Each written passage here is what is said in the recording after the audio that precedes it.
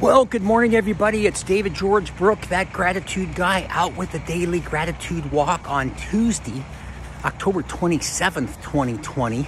Getting those 10,000 steps in. Actually, the sun's out now, out now, but it was really cold last night. And I hope I'm inspiring you to get out there and get those steps in. You know, exercise. Most books that talk about aging and living a life talk about exercise as being the number one thing to live a long and healthy life. So make sure you're getting those steps in. And again, I'm encouraging you to do that every single day if you can. So, and we're going to pair it up today with being warm. Gosh, it was cold the last couple of days, and I was thinking, I'm grateful for furnaces and pot bellied stoves and electric blankets and all sorts of baseboard heaters, whatever it is, space heater. But it's nice to be nice and toasty when it's cold out. So get those steps in and be grateful for all the heat sources that you have when you're cold. That's the message for the day. Remember, be grateful and never quit.